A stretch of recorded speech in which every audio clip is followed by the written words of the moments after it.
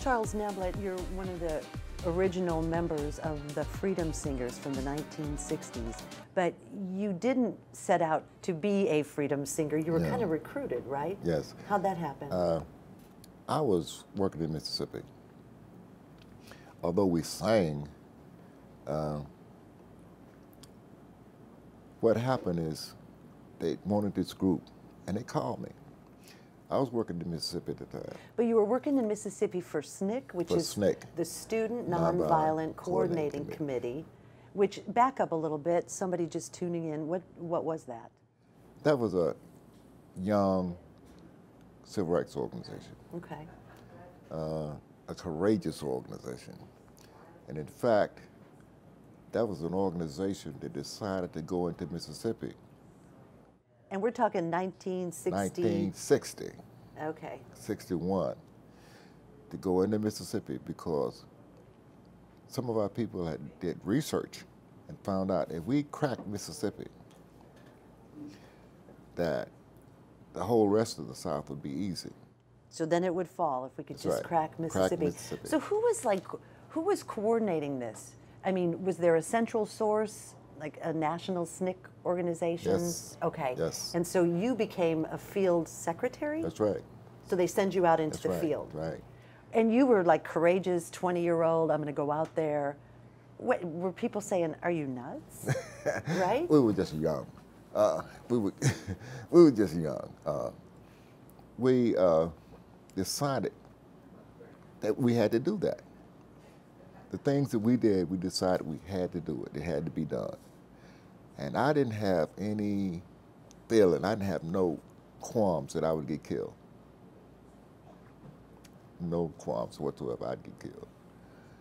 And we went down and started working uh, in Mississippi because Bob Moses, he went and did some research in Mississippi and found out how, what we could do there.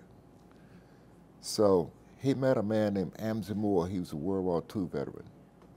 He had a lot of World War II veterans was ready to work in Mississippi. They, he had thought about what he could do to change things in Mississippi.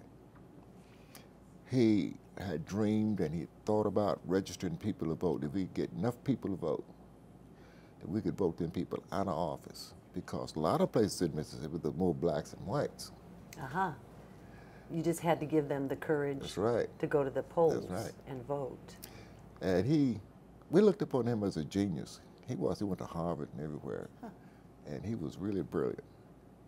And uh, So you put your trust in this guy. yeah, Here you are, yeah. he come back and told us that he wasn't no genius. He said, "I listened my way through the world."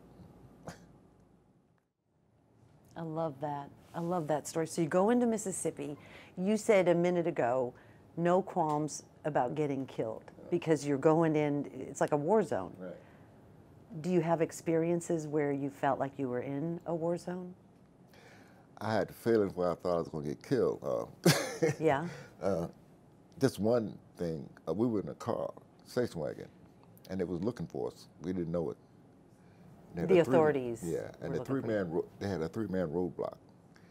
They had a car behind you, car would pull up beside you, and the car in front would slow down, and you couldn't get away. You were boxed in, and they did that to us. And the guy in the back seat wasn't watching like he should. Ah, and they shot that car up. They shot it up. And the weirdest sound I've ever heard in my life was bullets coming through metal. But missed you all? I was down, I was I was down on the floor. I didn't know you could get down there. that low. But you did, and none of you were injured? None of us got hit. We they drove off, I thought they thought we were all dead. They drove off. And uh, we went to Mrs. Hamer's house, Miss Fannie Lou Hamer's house. In Mississippi. Uh, Was this in Mississippi? Mississippi. And nobody said a word. Went to her house. And I went to a mirror. I looked in the mirror to see if I was all there. and I didn't have no holes in me, uh, anything. And I, uh, I just walked around for a couple of days to get used to, to find out what happened. Yeah. You know, how, why was I still alive? And uh, after that, a few days, uh, we was back on the road again. Was there a time when you really felt like you made a difference? Yeah, what I what I felt like I really made a difference was when people decided to stand up. Decided to stand up. You had to do a lot of things because to convince people, especially black people, that you were serious, that you were going to be there. You weren't going to stay and get them in trouble and leave. That you were going to be there. It's called trust. That's right. They had to trust you. That's right. So we had to go into cotton fields. We had to stay there until they come after you. They get there after the organizers. They'd come, and you notice they was coming because they'd hold the guns up above the cotton. And you could see them coming, and when you see them coming, you got to go. And we would be back there the next day. And people found out that we were cr- either crazy or we were serious. and that's how we got people to register to vote. You know, uh, and in fact, they put you in jail. They put us in jail for registering people to vote on a charge of criminal anarchy In Mississippi. in Mississippi. Criminal anarchy, which is It's an civil old Civil war. War law, Civil War law, that carried the death penalty. And uh, they put us on death row. So what we did, we shaved our heads because you have to shave your head before they execute you.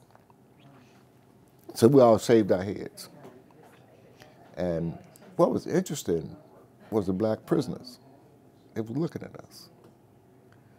And uh, they told us, uh, you know, if our reputation wasn't so bad, we'd join you guys.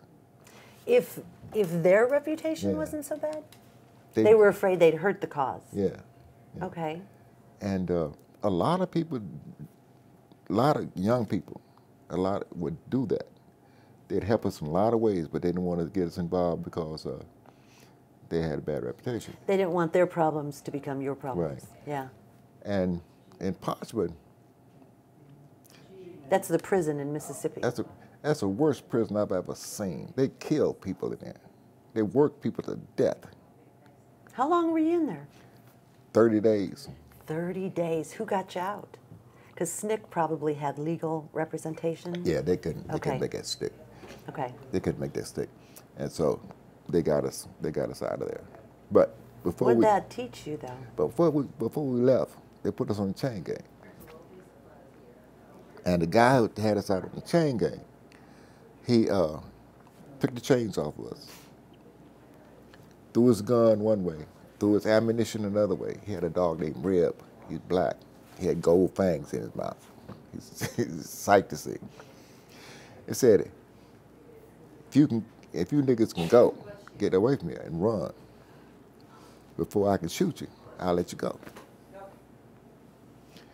So we had a lot of guys from seminaries come out of seminaries. One of the guys looked at him and said, We're not going to leave you. He said, God sent us to you. He said, If we left you, we'd go to hell. He said, Anytime a man would rather stand up with another man with a gun and shoot him rather than going home and being with his wife and children, he's, he's not right. You know, that man is insane. He said, God sent us here to, to save you. And the guy prayed for him. And he took us back to prison without the chains. And he came to my cell the next day, he said, if y'all keep this up, we won't be white no more. I said, what that fool talking about? What a story. he won't be white no more. Now I'm to think, I said, that guy's poor, real poor. He's not paying him any money. And uh, the only thing that he has, only thing that he has is his white skin. It makes him something. His white skin. The privilege that he has with his white skin. That's all he got. I said, that man is pitiful. That's very pitiful. and uh, and you met people like that. So that that little, not little, it was a 30-day stint in one of the worst prisons in Mississippi. But you learned something from that that you could take moving forward as you pushed for civil rights. Yeah? Charles Neblett is who we're talking to, one of the original founding members of the Freedom Singers and um, a field secretary in SNCC, which was the Student Nonviolent Coordinating Committee in the 1960s. This is Coffee Near Me. We're at the Flying Pig in Russellville, Kentucky. I'm Barbara Deeb. Remember, you can continue the conversation in the comments section. We'd love to hear from you. Cheers. Thank you for sharing those stories. Amazing.